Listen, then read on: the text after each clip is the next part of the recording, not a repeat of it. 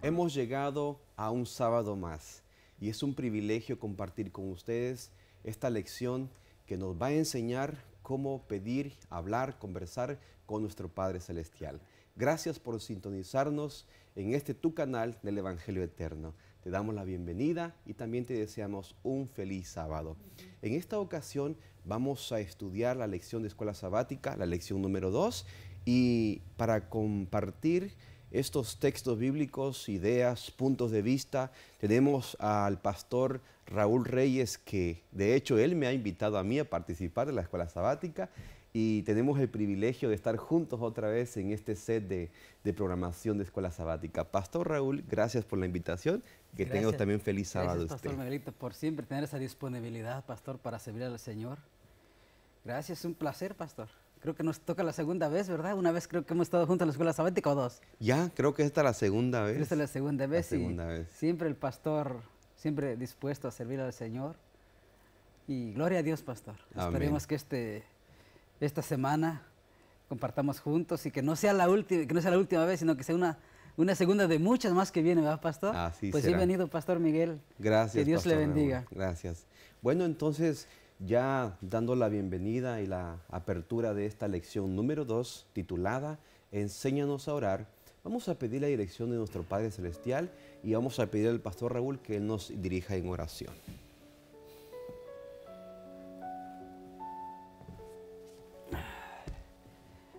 Bendito Padre Santo, alabado y glorificado y bendecido sea tu nombre, Señor. Amén.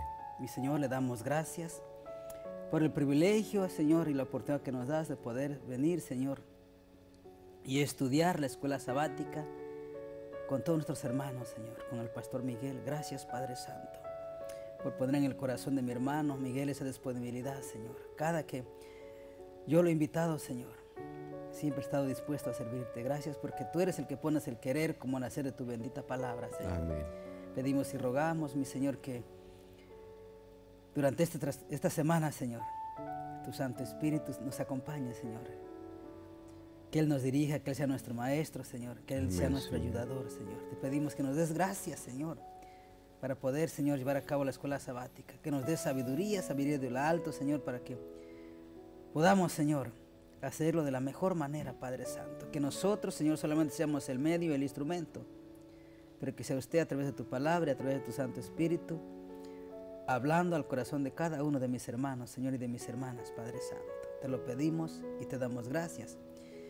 En el bendito y santo nombre de tu Hijo amado, Cristo Jesús. Él sea la honra y gloria por los siglos de los siglos. Amén. Amén.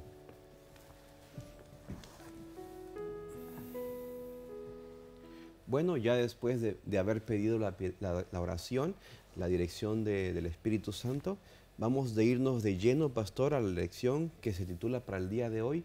Si ustedes tienen en casita bien un folleto, pueden abrirlo también junto con la Biblia y tomar las ideas y puntos y ya ustedes van a tener su punto final de acuerdo a lo que estudiemos el día de hoy. Pastor, el día de hoy nos va a hablar la lección número 2, ¿verdad? Que se titula Enséñanos a orar. Pero antes de iniciar con la lección, pastor, ¿Cuáles, sido, ¿Cuáles han sido algunas de sus experiencias con el Señor en cuanto a la oración? Fíjese que yo me identifico a buscar a la presencia de Dios, no a alguien como dirigiéndome a un humano, a una persona normal. Creo que al dirigirnos con Dios, pastor, tenemos que tener un cierto respeto, un cierta, ah, una autoridad, ver la autoridad de Dios y también ver esa solemnidad de buscar la presencia de Dios. Para usted, pastor, ¿qué es buscar a Dios? ¿Y cómo buscar a Dios? Antes de ver los conceptos muy precisos que la Biblia nos habla, vamos a tener un cambio, intercambio de ideas en cuanto a nuestra experiencia propia. Pastor, adelante. Yo creo, pastor, que meterse a orar, meterse a nuestro lugar secreto, ir a nuestro lugar secreto, pastor, creo, que tiene que ser el momento más hermoso, ¿verdad? Porque va uno en presencia de nuestro Señor y yo creo que uno tiene que hacerlo, hacerlo con reverencia, con respeto, porque vamos a buscar el rostro de nuestro Creador. Yo creo que la manera de comunicarse con Dios a través de la oración, ¿no? Y yo creo que es el momento que va uno a, con nuestro Señor. Yo creo que debemos ir con, con gozo, con alegría. y creyendo que Dios ya nos escuchó, creyendo que, la, que antes que vayamos con el Señor, Dios ya, sus oídos está atento, con, atento a nuestras oraciones y sabiendo que Dios es fiel y que nos va a escuchar, pastor. Pero tenemos que hacerlo con confianza, con esa reverencia, no ir con temor, pastor. Ir con, ese, con esa alegría, con ese gozo, con esa confianza.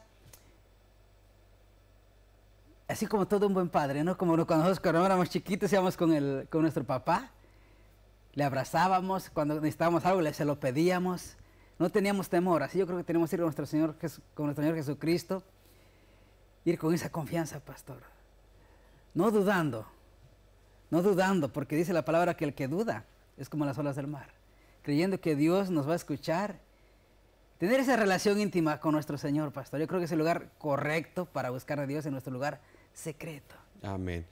Pastor, usted mencionó varios puntos importantes. Uno de ellos fue la confianza.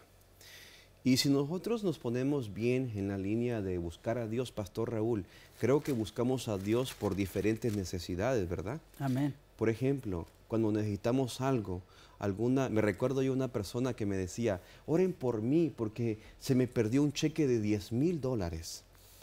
Y oramos por la persona. Y a la siguiente día dijo la persona, gracias a Dios porque ya encontré mi cheque de 10 mil dólares. Entonces, en las cosas más pequeñas, ahí es como Dios se presenta. Buscamos a Dios cuando estamos enfermos, buscamos a Dios cuando estamos en alguna necesidad, tristeza, pastor. ¿Cuántos en este mundo han tenido el corazón roto y han buscado a Dios, verdad, para que le dé esa fortaleza? Pero vamos a ver qué la Biblia nos enseña en cuanto a, a orar al Señor. Y pastor, si trasladamos esto a buscar a Dios en medio de la oración. Usted se recuerda en el santuario cómo los pecadores venían a buscar el perdón de Dios y cómo traían su ofrenda para buscar a Dios. Ahora, gracias a Cristo Jesús, el sacrificio que hizo por una vez y para siempre, tenemos acceso a esa oportunidad, ese privilegio de buscarlo directamente. Antes, ¿cómo venían los israelitas a buscar a Dios o el perdón de Dios? venían a ofrecer su ofrenda para que así ellos a través de los sumos sacerdotes podían ofrender y Dios podía, ¿qué? Darles el perdón. Pero ahora vamos a ver, pastor, adelante, usted comparta con nosotros los textos que la lección nos habla el día de hoy, ya después de haber dado la introducción de lo que hablamos en cuanto a la oración propia. Adelante, pastor. Yo creo que Lucas capítulo 1 es bien interesante porque dice, un día estaba Jesús orando en un lugar y cuando terminó, uno de sus discípulos le dijo, Señor, enséñanos a orar, como Juan enseñó a sus discípulos. Es verdad, pastor, que nosotros a veces no sabemos orar, no sabemos pedir y cuando pedimos, pedimos mal. Pero dice la palabra del Señor que el Espíritu Santo y decide por nosotros con gemidos indecibles, ¿verdad, pastor? A veces nosotros nos preocupamos tanto cuando vamos a orar por hablar palabras bonitas, queremos impresionar al Señor, ¿verdad? Pero el Señor no se fija en eso. Lo que el Señor busca es lo que sale de dentro de nuestro corazón, algo algo que sea honesto, con una honestidad, con un corazón sincero, contrito y humillado, es lo que busca el Señor, no las palabras bonitas. A veces uno busca impresionar a Dios con palabras bonitas y a veces uno escucha orar a los hermanos y hay hermanos que, verdad, pastor, oran preciosísimo. Usan unas palabras tan hermosas y una vez, yo cuando reconocí el Evangelio decía yo, ojalá un día yo pueda aprender a orar como ora el hermano. Pero después entendiendo, entendiendo el mensaje de la palabra de Dios que Dios no mira las palabras, es lo que mira lo que sale del corazón. Las palabras que salen, esas palabras humildes, humildes, llenas de honestidad, es lo que mira el Señor, pastor. Y hay veces, pastor, que la gente hace sus oraciones como predicándole a Dios, como que si Dios no, no sabe nuestras necesidades. Y por eso los discípulos dicen, ¿verdad? Enséñanos a orar. Y usted que acaba de mencionar algo muy interesante, que tenemos que buscar a Dios con confianza una confianza certera. Y sabe que la Biblia nos habla de muchos, da muchos ejemplos. ¿Se acuerdan la oración del publicano? Del que entró a la sinagoga y dijo, se dio golpes de pecho diciendo, gracias porque no soy como ellos, ¿verdad? Y el otro que dijo, Señor, perdóname porque soy pecador. Y la pregunta que Jesús dijo, ¿quién de los dos salió regocijado o perdonado? Pues el que se humilló, ¿no? Y aquí, pastor, nos va a enseñar durante este estudio que tendemos enseñados a orar, vamos a aprender muchas cosas. Pero adelante, no le corto la inspiración, siga con lo que tiene que compartir. Mire, lo que dice la escuela sabática, pastor. Si la, creencia de, la creencia de que únicamente la oración espontánea era real. A veces muchos pensamos así, pastor, pero no dice, Dice, no, eres, era real, no la oración de memoria. Parece prevalecer entre algunos cristianos. Sin embargo, los discípulos de Jesús se sintieron inmensamente recompensados cuando le pidieron que les enseñara a orar. Dios colocó un devocionario, salmos, en el corazón de la Biblia, no solamente para mostrarnos cómo oraba el pueblo de Dios en la antigüedad, sino también para enseñarnos cómo podemos orar hoy. Exacto. Interesante, pastor, que como David y todos esos grandes hombres de Dios usaron salmos para orar.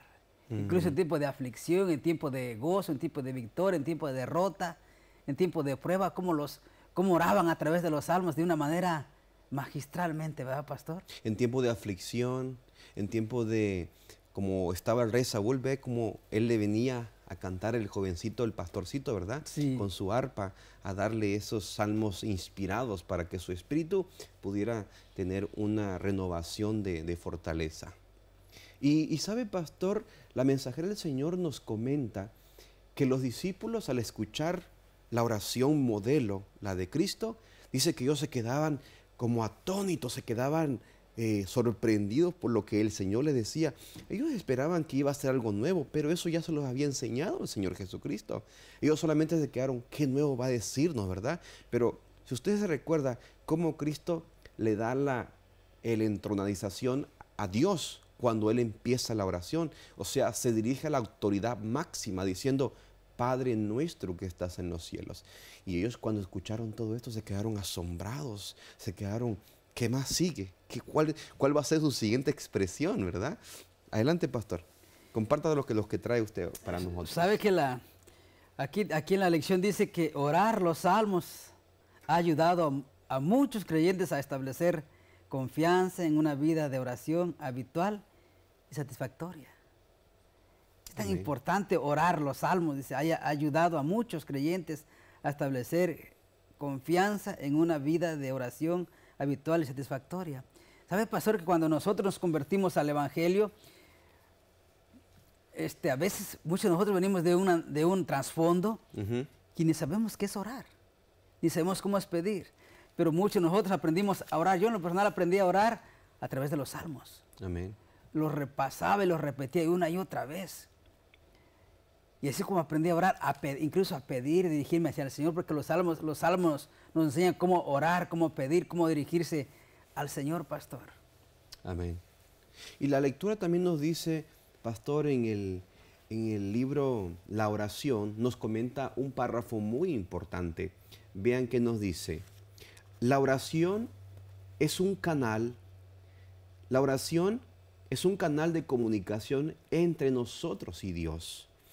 Dios nos habla por medio de su palabra, nosotros le respondemos por medio de la oración y siempre nos escucha. No podemos cansarlo o abrumarlo con las palabras de nuestro corazón. Qué tremendo, ¿no, pastor? No podemos cansar a Dios.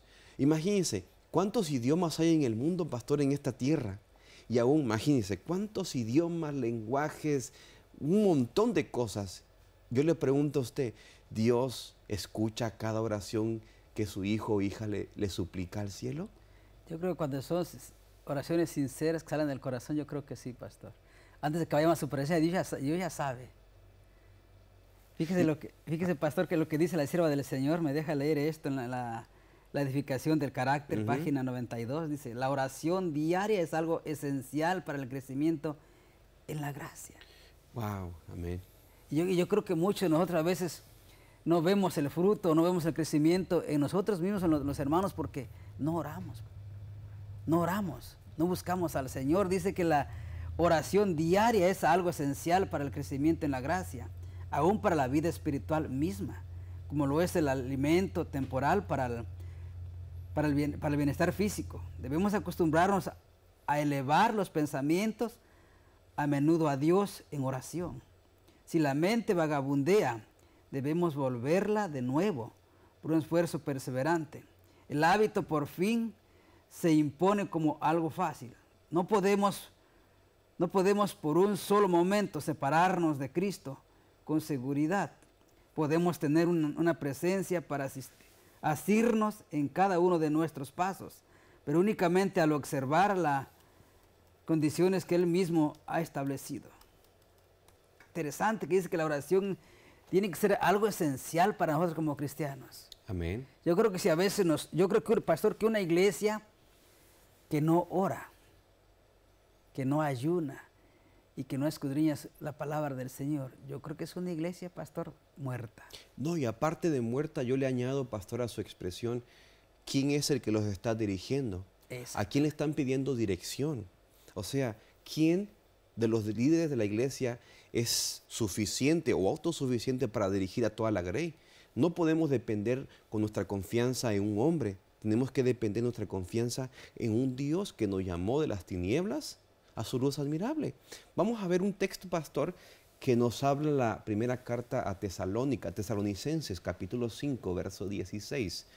Es algo muy interesante, pastor, este versículo. Primera de Tesalonicenses, capítulo 5, verso 16, y nos muestra esta expresión el apóstol Pablo. Estad siempre gozosos, verso 17, veamos qué dice. Estad siempre gozosos, nos dice, orad sin cesar. Vamos a detenernos ahí. Y pastor, yo le pregunto a usted, cuando la Biblia nos dice orad sin cesar, ¿necesitamos estar todos los días y en todo el tiempo de rodillas pidiéndole a Dios? ¿Verdad que no? no? La expresión que nos habla la mensajera y nos aclara aquí nos dice lo siguiente, vean, esto está en el libro La oración, en la página número 6, párrafo 3. Vean qué nos dice. Las escrituras nos aconsejan orar sin cesar. Esto no significa que hemos de pasar todo el día de rodillas en oración formal.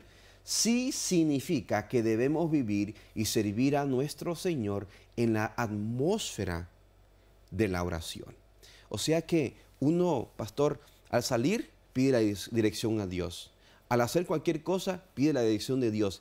Pastor, en cual la cosa más mínima, si pedimos la dirección de Dios, la respuesta es, ¿Dios nos va a dirigir a lo mejor?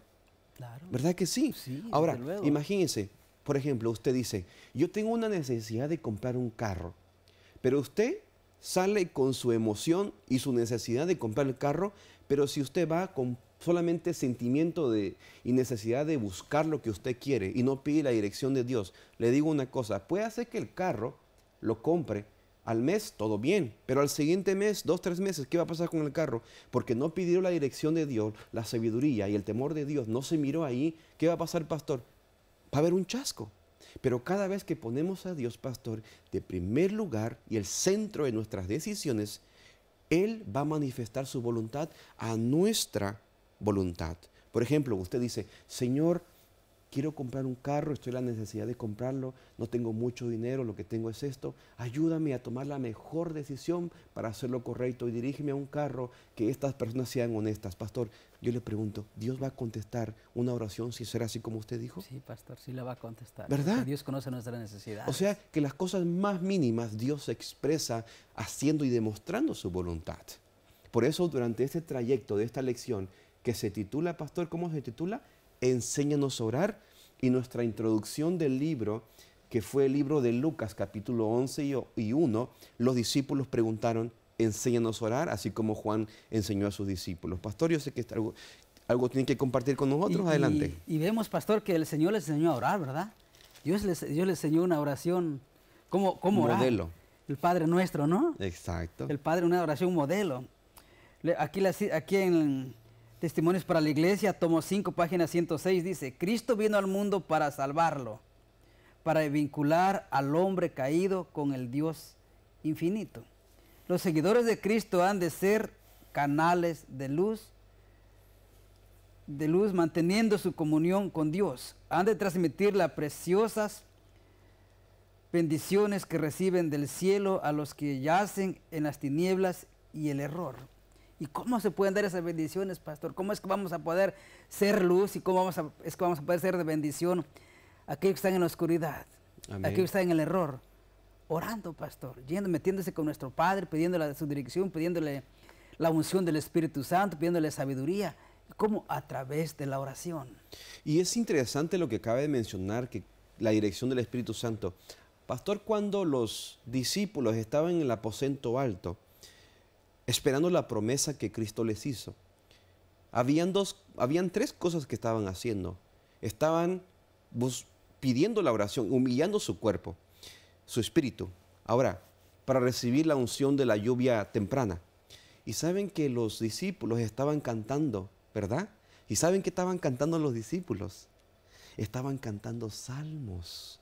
Y ahora, ellos estaban afligiendo su espíritu y estaban pidiendo a Dios, buscándole en fervorosa oración. Yo le pregunto, pastor, para este tiempo es importante buscar la oración directa con el Señor. Sí, pastor, yo creo que hoy más que nunca. Vivimos en tiempos difíciles, ¿no es así? Creo que, hermanos y hermanas, más que nunca, la Biblia nos enseña a que necesitamos buscar a Dios mientras puede ser hallado. El día de mañana podemos ya no tener el privilegio de la vida, pero hoy Dios nos, nos, nos pide que le buscamos. Él está ansioso para llamarnos, escucharnos. Pastor, unas palabras finales para concluir este día, yo creo sábado.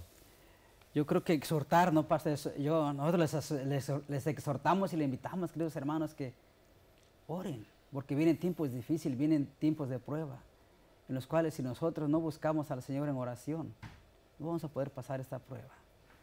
Es la oración la que nos va a hacer fuerte. Es la oración que nos va a conducir a los almacenes donde están todas las provisiones del Señor. Es que mi hermano, oren. Que Dios les bendiga y les esperamos para mañana. Amén.